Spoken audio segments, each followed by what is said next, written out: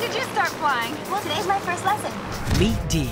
Really? Yeah, me too. Meet Dawn. That's funny. They're two blondes You know they killed Louis? No. They burned his freaking head off. on a mission.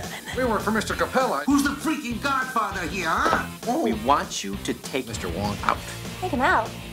I don't even know him. They just have no idea Say a quarter of a million dollars? Wait a second. You're gonna get me to take this guy out for $25,000? what it is. $250,000. Wow. Wait, is that more? I think so. Now, You don't think maybe we got the wrong girl? the FBI thinks they're assassins. I'm trying to find Hung Wong. I think he's French. Really? I would have thought Italian.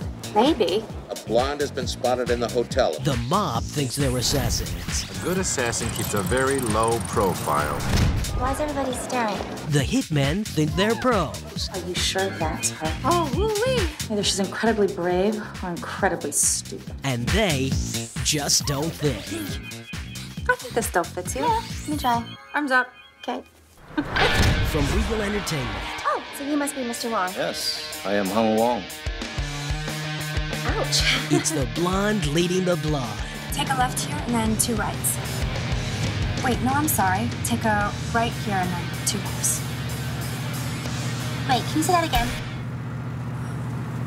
I don't think so. Pamela Anderson, Denise Richards, How long have you lived here? Nine months. How about you? Oh, not nearly that long. About a year? Blonde and Blonder. You interested in Mr. Wong? Yes, um, he must be Mr. Wong's pirate.